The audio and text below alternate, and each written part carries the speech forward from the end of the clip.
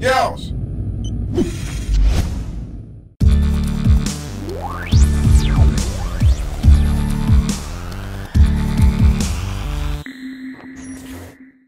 What's up guys and girls, my name is SuperRebel123. First of all, if you guys are new to my channel, thank you for stopping by. Please do hit the subscribe button above, it will be much appreciated. And at the end of the video, if you guys did enjoy it, please do leave a rating down below, a comment, and maybe add it to your favourites. So guys, let's jump straight into today's topic. So in today's video, we're going to be doing an analysis on the recent screenshots that Rockstar only released a couple of days ago. Now I did actually show the screenshots a few days ago as well, and I did say I will be going in a more in-depth analysis because I, I just covered it roughly, I mean saying what we can see. But so, that's what we're going to be doing in today's video, we're just going to be literally going in depth on what we can see within the screenshots. So, the first screenshot is of course of Franklin with a minigun. So overall, firstly, the minigun is definitely making a return in GTA 5, and I'm definitely sure it's going to be more realistic. As we can see off this screenshot, I mean, the graphics are looking more realistic than they did in the previous screenshots. I mean, this could go on to Rockstar delaying it. They have actually improved on the graphics, so the delay time wasn't exactly a bad thing to do. But Franklin is also wearing a bandana that happens to be green and a minigun that happens to be green. Now, first of all, this goes into weapon customization and character customization because, of course, Rockstar have confirmed we will be allowed to customize our weapons and besides that, we will be able to customize our characters, which in my opinion is absolutely going to be insane. But why the color green? Now, I guess a lot of people have been saying that Franklin is kind of like the second CJ that did, did make an appearance in San Andreas. I mean, could this be true from wearing a green bandana? Maybe this can relate, relate to Grove Street, as I will show you in the next screenshot. But right now, can this relate to Grove Street? Maybe Franklin being related to someone who was who happened to have been in um, Street. For instance, Franklin could be related to CJ or Big Smoke or Ryder, any one of those. And I mean, that would be pretty awesome to have in the story as well. Now, next thing is actually the bullets coming out of the weapon. I mean, there's like a load of bullets just dropping out, which is really detailed in my opinion. And whether or not this will be in the game, I mean, I think Rockstar will actually add this feature because if we do go back to Grand Theft Auto Ballad of Gay Tony, Ivy, Lost and Damned, I mean, a few bullets did actually come out of the weapons. However, it wasn't exactly detailed, as detailed should I say, as it looks in this screenshot. I mean, we have a clear image on the actual bullets flying out. Or maybe we will, we will, sorry, actually see this these bullets, should I say, on the floor. And then we do actually have a tree on fire. Now, this could be a really awesome thing that Rockstar will add to the game where we can kind of damage the environment, if you guys understand what I mean. I mean, maybe we can burn them buildings, plants, and so on.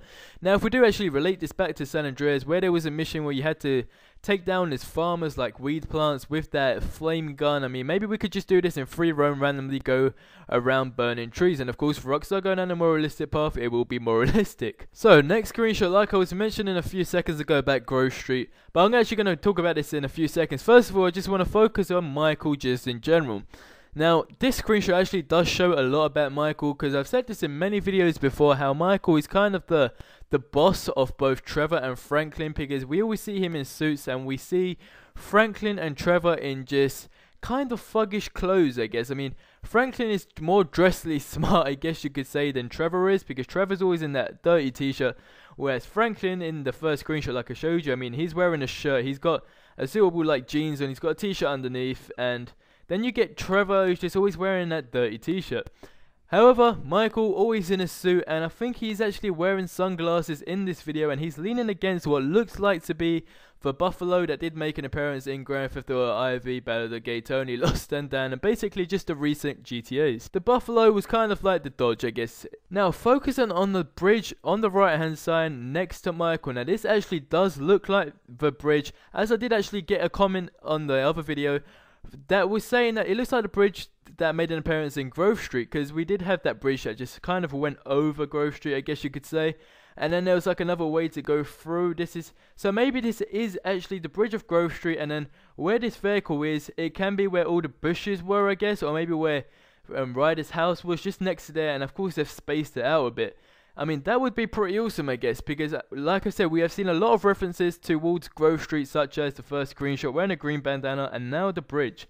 So, whether or not Grove Street will make a return, I mean, could Rockstar maybe add this, because it is, of course, based in Los Santos, and maybe this could be an Easter egg finding Grove Street. But either way, guys, just the weather in general as well. I mean, we got a cloudy situation here, and not many clouds actually appeared in GTA IV. In fact, none. I mean, I never came across clouds so seeing this, this actually does go into the whole weather situation. Of course, we've got shadows, we've got the buildings, and it is looking like a really detailed screenshot that shows a lot about both protagonists. So next screenshot is of Trevor, and Trevor is not doing anything crazy for once. I mean, in the previous screenshots, we have seen Rockstar make Trevor look like a really crazy guy. I mean, we've seen him with like flamethrowers in the trailer, with guns.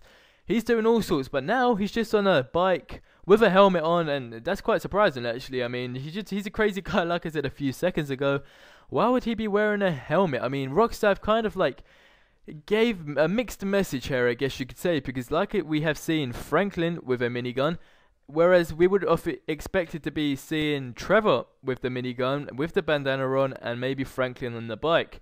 But it's a totally opposite, and I like what Rockstar have done here because in previous screenshots and trailers, Rockstar have showed Franklin to be a really calm, relaxed type of guy in a way, whereas now we have just seen the complete different side of Franklin. I mean, we've seen him with a minigun, shooting a load of thing, an exploded vehicle in the back, a tree on fire, and then we get a calm Trevor for once. But he's not exactly done something calm because he's got a load of police in the back. Now, looking at the police car, we do have police jeeps which did, which did make an appearance in GTA San Andreas, However, we do actually have someone standing on like the edge. So rather than policemen actually shooting out the window, maybe it can be like Mafia 2 where they actually came out the window or like like in this scenario they actually stand outside of the vehicle because if we do look in the further further vehicles we got another two people doing the same kind of thing. Now this is actually in the desert as we can see by the ground. We got the nice hills in the back so it is looking pretty awesome and for once Trevor's shirt is actually clean which is amazing. But guys that's it for today's analysis video on the new screenshots but there will be of course more episodes. We're going to be going through all the screenshots and an overall Towards the end, we're just going to look at all of them once again and choose the best screenshot. But either way, that's it for today's video, guys. Once again, hope you guys enjoyed.